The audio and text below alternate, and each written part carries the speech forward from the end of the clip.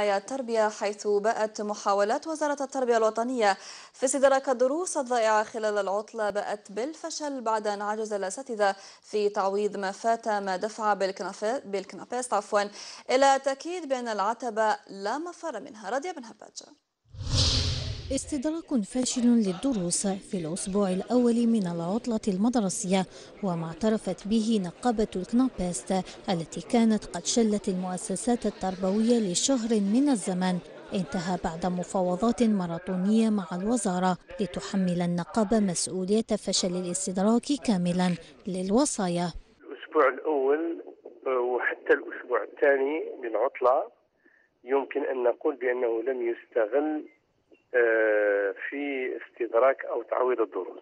آه، عدم إعطاء ممثلي وزاره التربية الوطنية أهمية للأمر وعدم إعطائهم الصبغه الرسميه بالتفاوض مع النقابة المضربة وبإعداد روزنامه رسمية لذلك.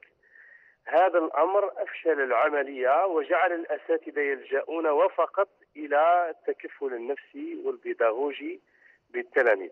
تمديد السنة الدراسية إلى منتصف شهر ماي وهو الآخر لن يكون حلا لاستدراك الدروس الضائعة وهو ما دفع بالكنابست إلى تبني في الأيام القليلة المقبلة مطلب العتبة. العتبة ضرورية. هناك دخول مدرسي كان متذبذب خصوصا في ولاية الجنوب. هناك الظروف الطبيعية في فصل الشتاء كاين هناك أحداث عين صالح وكاين الإضراب. معنا هناك العديد من الأسباب اللي ممكن أوصلتنا إلى هذا الوضع.